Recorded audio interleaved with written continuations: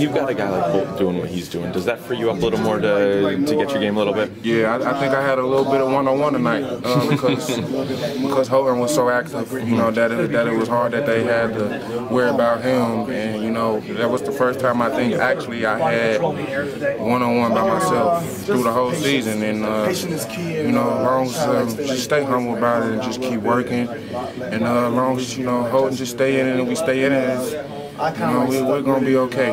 How much does that give you guys to build on and, and moving forward out of this one? Obviously, a, a, really good result coming off a really disappointing result in your last game out.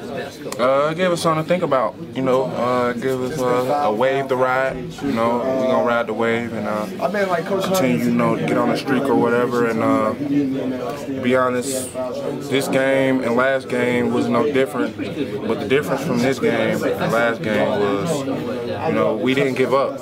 You know, last game we did give up.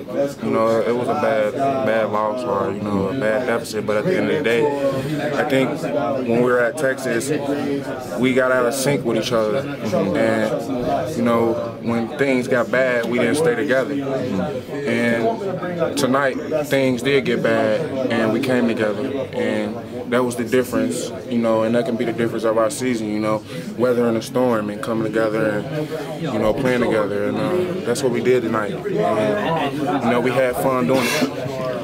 Thanks. Juwan talked about how last year you guys were getting these close games that wouldn't always go out your way. How much confidence do you guys gain? How much have you grown since last year coming out with a win in these close games?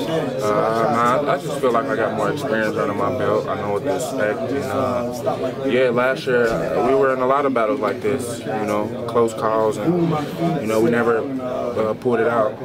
But the difference from this year, you know, we got guys coming off the bench and guys in the game, you know, that's willing to take big shots and, and sit down and, and get that, that, that last stop. And you know, that's that's that's the fun part about it to know that you got somebody on the side that's willing to go hard as you.